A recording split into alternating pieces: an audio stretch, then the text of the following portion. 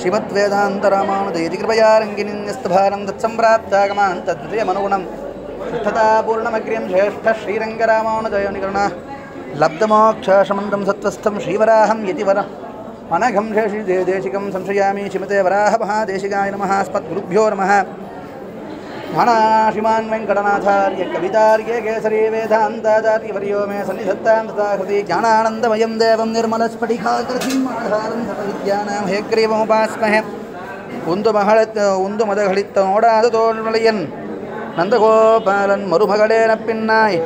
கந்தம் கமலும் குழலி கடை தருவான். வந்தெங்கும் கோழி அழைத்தனகான். மதவி பந்தல் மேல் பல்கால் குயினங்கள் கோவினகான்.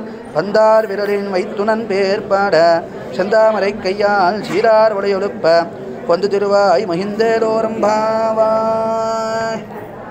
இன்றைய பாசுரமோ அற்புதமான பாசுரம். மார்க இதில் தனுர் திருப்பாவையில் ஒரு எட்டு பாசுரங்கள் முக்கியமான பாசுரங்கள் அங்கே குறிப்பு போட்டிருப்பான் இப்போ ஓங்கி உலகளந்தா உந்து மாறி மறை முழஞ்சில் மண்ணி கிடந்திருங்கும். கறவைகள் சிற்றம் வங்கக்கடல் கூடாரை வெல்லும் அப்படின்ற பாசுரங்களுக்கு ஸ்டார் புஸ்தகத்தில் ஏன் போட்டிருக்கான்னா அந்த ரெண்டு தடவை சேவிக்கணும்னு அர்த்தம். அந்த பாசுரத்துக்கு. அதனால்தான் வந்து அந்த மாதிரி ரெண்டு தடவை ஏன் சேவிக்கணும்னா ஆண்டாள் பாடியிருக்க பாட்டை வந்து உகந்ததாக இருக்குது உகந்ததாக இருக்குது அதனால் வந்து அந்த பாட்டை ரெண்டு பாசுரத்தை ரெண்டு விதமாக ரெண்டு தடவை சேவிக்கணும்னு சொல்கிறது இந்த பாசுரத்தில் ரொம்பவே ஆச்சாரியரை திருவடி பற்றி ஒரு சம்பந்தமான பாசுரம். இதில் பாஷ்யக்காரருடைய கதையும் உண்டு. இந்த பாசுரத்துக்கு அவரை அனுஷ்டானம் பண்ணும்போது என்ன நடந்ததுன்ட்டு ஆண்டாள் நேத்தி பாசுரத்தில் அம்பரமே தண்ணீரே சோரே அரஞ்செய்யும் எம்பெருமான் நந்தகோபாலா எழுந்திரான்ற போல இந்த ஆகாசமே பூமாபிராட்டிக்கு வஸ்திரமா? பூமாபிராட்டி தாயாரோடனும் தாயாருக்கு வஸ்திரம் என்னன்னா அந்த புடவை என்னன்னா ஆகாசமா ஆகாசந்தான் அவளுக்கு தாயார் பூமாபிராட்டிக்கு புடவை. அந்த போல ஒரு உப- போன பாசுரம் உதாகரணம் இந்த பாசுரத்தில் ஆச்சாரியர் திருவடி மகிமை. எப்படின்னா பரதாய பரம் நமோஸ்து தஸ்மை பிரதமோதாஹரணாய यदुवज्ञमशेषतपृथिव्यां प्रतिथो விதுவக்யமசேஷத பிருத்திவியாம் ராகவ பாதுகா என்ற ஸ்லோகம் பாதுகாசாஸ்திரத்தில் ரெண்டாவது ஸ்லோகமாக சுவாமி தேசிகன் சாச்சிருக்க இந்த பாதுகா பிரபாவம் ஆச்சாரிய திருவடி மகிமை என்னென்னா நமக்கு எம்பெருமான் போன பாசுரங்கள் போன பாசுரங்களில் பார்த்தோம்னா எட்டு விதமான புஷ்பம் பெருமாள் திருவடிக்கு சமர்ப்பணம் பண்ணணும் அப்படின்னு தெரிந்தோம். இந்த பாசுரத்தில் நமக்கு ஆச்சாரியர் பகவத் ராமானுஜர் ஒரு சமயத்தில் பிக்ஷாஜனம் விழும்போது ஒருத்தருடைய ஆத்துக்கு எழுறாரா? அப்போது அவர் வந்து பாதுகையை பார்த்து சேவிப்பாராம் என்ன அப்படின்னா எதுக்கு நமக்கு பாதுகை பிராமுக்கியமாக இருக்குது சம்பிரதாயத்தில்?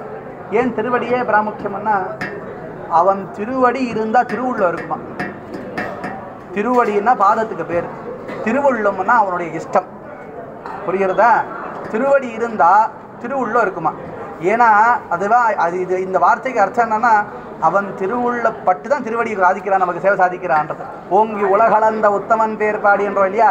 ஏன் திருவடியை வந்து திரிவிக்ரமாவதாரத்தை மேலே நோக்கி பெருமாள் பாதத்தையும் ஏழை பண்ணினார்னா அவன் திருவுள்ள பட்டு தான் இந்த சம்சார சாகரம் சம்சார சாகரம் கோரம் அனந்த கிளேசபாஜனம் சுவாமேவ சரணம் பிராப்பிய நிஸ்தரந்த மனீஷனான்னு ஜித்தியப்படி ஸ்தஜந்த ஸ்தோத்திரம் சொல்கிறேன் அதில் ஆறு விதமான ஜிதந்தே ஸ்தோத்திரம் உண்டு. முதல் ஜிதந்திரே வந்து இந்த ஸ்தோத்திரம் இருக்கே இது பெருமாளுக்கு சுப்பிரபாத சமயத்தில் சேவிக்க வேண்டிய ஸ்தோத்திரம் தான் நித்தியப்படி தீர்த்தத்தில் சொல்கிறோம் ரெண்டாவது ஜிதந்திரே வந்து ஆராதனத்தில் சொல்லணும். மூணாவது ஜிதந்திர வித்யாராதனத்தில் சொல்லணும். நாலாவது சாயங்காலம் அதுக்கப்புறம் சாயம் ஆராதனம் செய்யணும். இப்படி தான் ஆறு ஜிதந்த் ஆறு விதமான ஆராதனம் எம்பெருமானுக்கு நடக்கிறது. இந்த ஆறு வித ஆ- ஆராதனமும் ஆகம ரீதியா ஆச்சாரியர் வந்து நமக்கு சாதிச்சு அனுக்கிரகம் பண்ணி ஞானத்தை கொடுத்து பெருமாளுக்கு கோவில்களில் ஆறு விதமாக நடக்கிறது கிரகத்தில் ஆறு விதமாக கிடையாது. கோவிலில் தான் ஆறு ஆறு கால ஆராதனை உண்டு. இப்பொழுது இந்த சம்சார சாகரம் கோரம் அனந்த கிளேசபாஜனம் இந்த பாஸ் அந்த பா ஸ்லோகத்துக்கு அர்த்தம் என்னன்னா சம்சாரம்ன்றது சாகரம் போல. அனந்தகா கிளேசபாஜனம் பாஜயதி என்ன?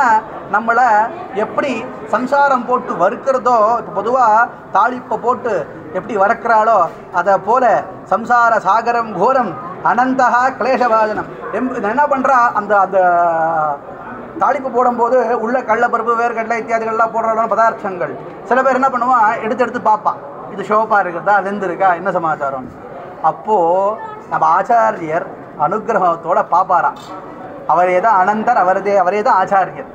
அனந்த கிளேசபாஜனம் சுவாமே சரணம் பிராப்பிய நிஸ்தரந்தி மனிஷினா யார் ஒருத்தர் ஆச்சாரியர் திருவடியை பிரதிநித்தியம் அனுஷ்டானம் பண்ணுறாளோ துவாமேவ சரணம் பிராப்பிய விஸ்தரந்தி மனிஷினா எம்பெருமான் திருவடி சாட்சாத்தா அனுகிரகமாக தான் அவன் திருவுள்ளத்தோட.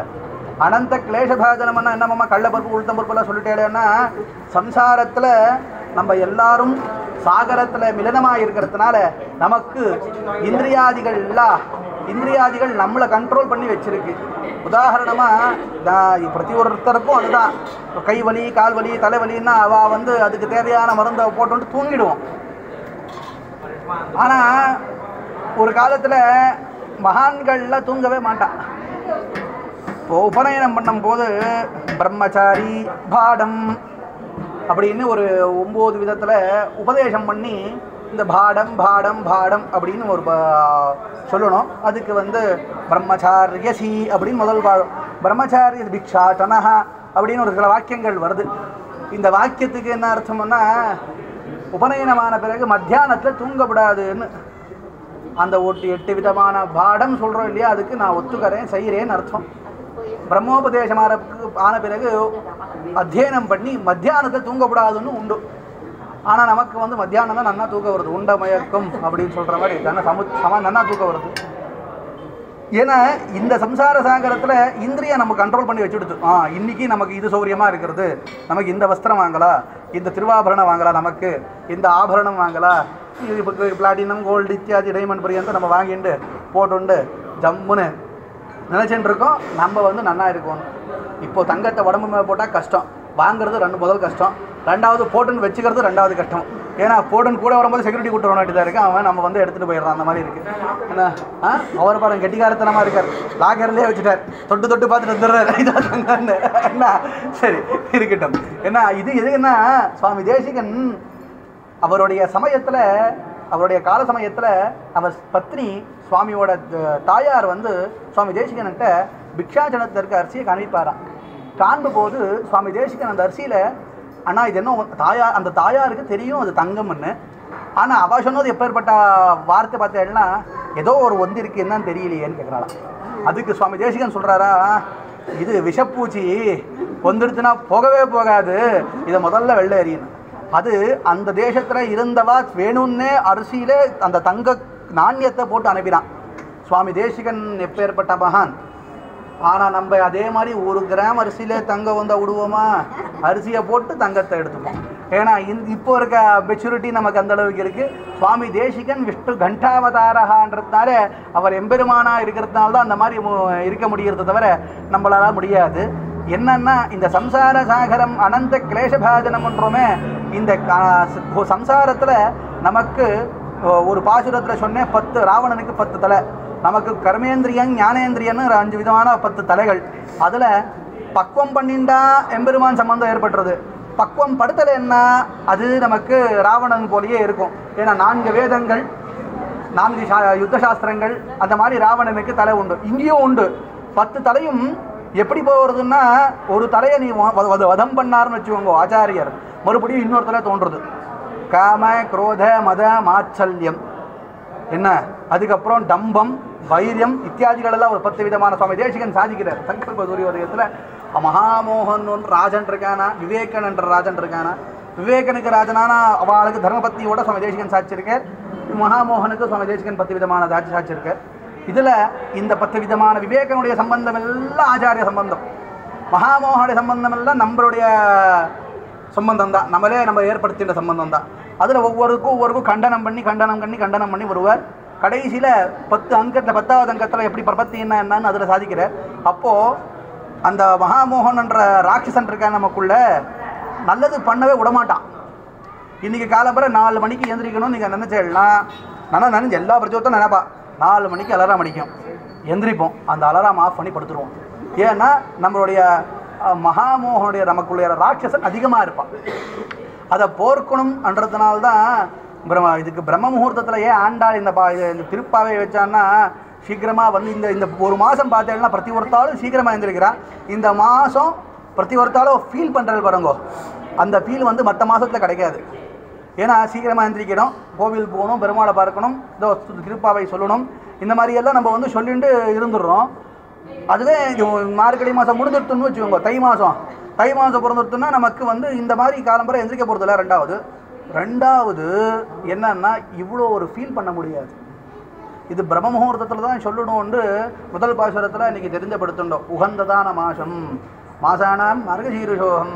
சுவாமி கண்ணன் கீதாச்சாரியனே சாதிச்சிருக்கார். மாசத்தில் உகந்த மாசம் மார்கசீரிஷ மாசம். தேவ உபாசன மாசம். தேவதா உபாசன சமயம். காயத்ரி இத்தனை மந்திரங்கள் உபாசனம் பண்ணணும்னா இந்த மண் இந்த சமயம் உகந்தது. அதனால தான் இந்த சமயத்தை திருப்பாவை பண்ணினான். ஏன் இவ்வளோ டீட்டெயில்ஸாக இன்னைக்கு சொல்கிறேன்னா நமக்கு ஆச்சாரியர் என்றவர் மகாமோகனா இருக்கிற நமக்குள்ளே இருக்கிற தசவிதமான முகத்தை உடைய ராட்சசனை ஒவ்வொரு வித வித்தியை கொடுத்து கொடுத்து கொடுத்து போக்குறார். அது வராமல் இருக்கணும்னா ஆச்சாரியர் திருவடியை தியானம் பண்ணணும். அந்த ஆச்சாரியர் திருவடியை பிரதிநித்தியம் தகனம் பண்ணணும்னா நமக்கு சாட்சாத்தா ஆச்சாரியர் அனுகிரகம் இருக்குது. மகாமோகன் வரமாட்டான். மகாமோகன் என்ற ராட்சசன் நமக்குள்ளே இருக்க மாட்டான். மந்திரமயம் ஷரீரம் அன்னு நேத்தி பாசுரத்தில் சொன்னோம். நீங்கள் வந்து பொதுவாகவே எல்லாரும் ஏன் ஸ்தோத் அச்சுதா அனந்த கோவிந்த நாமோச்சாரண பேஷஜாத் நஷ்யந்தி சகலாரோகாத் சத்தியம் சத்தியம் வதாமியகம்னு சொல்கிறா என்ன அர்த்தம்? அதில் அச்சுதன் அப்படின்னா எம்பெருமானுக்கு பேர் அனந்தன்னா எம்பெருமானுக்கு பேர் கோவிந்தன்ன்றது எம்பெருமானுக்கு பேர். பிரதிநித்தியம் சந்தியாவந்தனம் பண்ணணும் சந்தியாவந்தனம் பண்ணணும்னு சொல்கிறோம் ஏன்னா முதல்ல ஆச்சமனம் ஏன் வச்சிருக்கா சொல்லுங்க. ஓம் அச்சுதாய நமஹா. ஓம் அனந்தாய நமஹா. ஓம் கோவிந்தாய நமஹா. பார்த்தேடா ஆ சந்தியாவந்தன மகிமே. விஷ்ணு சகசிரநாம ஸ்தோத்திரத்தில் அச்சுதானந்த கோவிந்த நாமோச்சாரண பேஷிதாத்.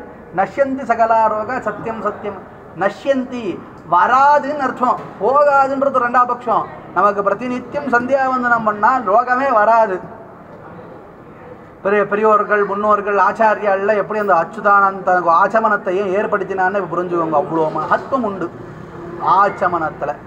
அதுலேயே சாட்சாத் எம்பெருமான் எழுந்திருப்பார்.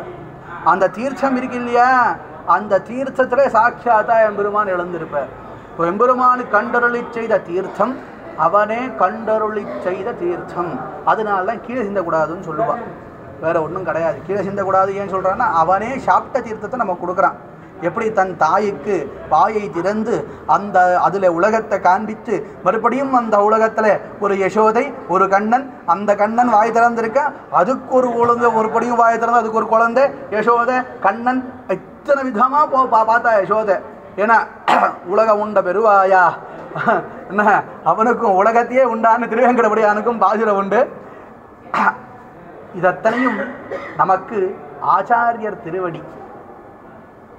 பிரதிநித்தியம் ஆச்சாரியர் தனியன் சேவிச்சேன்னா ரோகமே வராது. ராட்சசன் இருக்க மாட்டான். அதுதான் இந்த பாசுரத்தில் குந்து மதகளித்த நோடாத தோல்வழியின் நந்தகோபாலன் மருமகளே நப்பின்னா இதுக்கு பாசுரத்துக்கு ஆண்டாள் வந்து யாரை பற்றி கண்ணனை பற்றி பாடி நேற்று எழுப்பி கண்ணா உன்ன மாதிரி கோவிலுக்கு வரா பெருமாளை சேவிக்கணும்னு வரா நீங்கள் அத்தியுதமாக அனுகிரகம் பண்ணுங்கோ அப்படின்னு இந்த பாசுரத்தில் ஆண்டாள் தெரியப்படுத்துகிறா வெம்பெருமான் அனுகிரகம் பண்ணணும்னா திருவடி சேவை சாதிக்கணும்னா திருவுள்ள படணும்னு ஆரம்பத்தில் சொன்னேன். அந்த திருவடியே ஆச்சாரியர். எம்பெருமான் திருவடி யாருன்னா சாட்சாத் ஆச்சாரியர். ஏன்னா பெரிய திருவடி சிறிய திருவடின்னு சொல்கிறோம் பெரிய திருவடின்னா கருடன் சிறிய திருவடின்னா ஹனுமன். ஒரு சொல்லின்றக்கா என்னன்னா இவ ரெண்டு பேரும் ரூபத்துமே ஆச்சாரியர் தான். எம்பெருமான் திருவடி ஆச்சாரியர். அதனால் எம்பெருமான் திருவுள்ளப்பட்டு தான் திருவடியை நமக்கு அனுகிரகம் பண்ணுவான். அதனால் இந்த பாசுரத்தில் ஆண்டாள் பிரதிநித்தியம் அனுசந்தானம் பண்ணி மந்திரமயம் சரீரம். எப்படி ஆச்சாரியர் திவ்ய திருமங் திவ்ய திருமேனியல் இருக்கோ அந்த ஆச்சாரியரை இப்போ சுவாமி தேசிகன் ராமானுஜர் நாதமுனிகள் விஸ்வக்சேனர் நம்மாழ்வார். இத்தனை ஆழ்வார்கள் எல்லாம் இருக்கும்போது அந்த ஆழ்வார் தனியன்னு வச்சுருப்பாள் அந்த தனியம்னா அவருடைய லட்சணங்களுக்கு தனியன்னு பேர். அவர் எப்பேற்பட்டவர்? எந்த குலத்தை உடைந்தவர்? அவர் எப்படி எழுதியிருக்கார் என்றது தான் தனியன்னு பேர். அந்த மங்கள ஸ்லோகத்தை அந்த தனியன்னு பிரதிநித்தியம் தியானம் பண்ணும்போது அந்த மந்திர ரூபமாகவே அந்தந்த ஆச்சாரியால் அங்கே எழுந்திருப்பார். அந்த அங்கங்கே எழு எழுந்திருக்க ஆச்சாரியர் அந்த மந்திர சக்தியால் நமக்கு காப்பாற்றுவார். அதே எம்பெருமான் நமக்கு கொடுத்த மகாபலன் மகாபலமே அதுதான். ஏன்னா ராமாய ராமபத்ராய ராமச்சந்திராய வேதசே ரகுநாதாய நாதாய சீதாயா பதையே நமான்னு சொல்கிறோம் இந்த ஸ்லோகத்துக்கு அர்த்தத்தை பார்க்கணுன்னா மூணு மணி நேரம் வேணும். அவ்வளோ அர்த்தம் இந்த ஸ்லோகத்துக்கு உண்டு. அதனால்தான் ஆஞ்சநேயனுக்கு ராமநாம சாம்ராஜ்யாதிபதி பாருங்க லவகுஷனுக்கு அவருடைய சொத்து பிரித்து கொடுத்தாச்சு.